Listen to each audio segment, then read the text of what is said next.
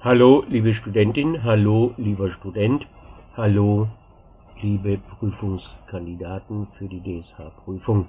Kommen wir nun zum Schluss zu unserer Textproduktion Grenzen im Hochleistungssport, Seite 6.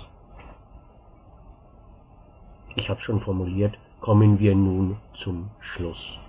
Also formulieren Sie selbst bitte den Rest in grammatikalisch korrekten Sätzen aus. Viel Erfolg, danke und tschüss.